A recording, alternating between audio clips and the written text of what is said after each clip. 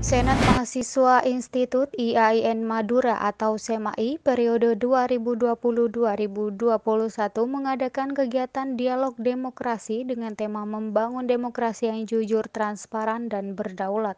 Sekaligus launching POPPTA, Pedoman Penyelenggaraan Tertib Administrasi pada Senin 22 November 2021 yang diadakan di Auditorium IAIN Madura. SEMAI telah mencetak satu buku pedoman tentang administrasi yang nantinya bisa diberlakukan untuk semua ormawa agar bisa satu kepenulisan.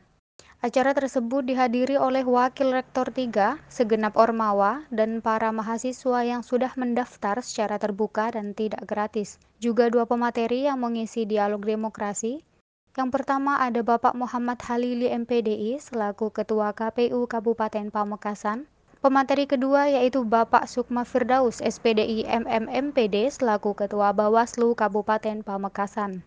Tujuan dari acara ini agar mahasiswa tahu dan mengerti pentingnya pesta demokrasi dan bagaimana cara penyelenggaraan yang baik. Muhammad Lutfi selaku Ketua Panitia menyampaikan, dengan adanya acara ini dia berharap bisa menghidupkan, menata dan membuat pesta demokrasi ini lebih terstruktur lagi untuk tahun-tahun yang akan datang. Harapan kami tidak lain adalah untuk lebih menghidupkan lagi dan lebih apa ya intinya lebih tertata lagi dan terstruktur lagi terhadap pesta demokrasi yang akan datang.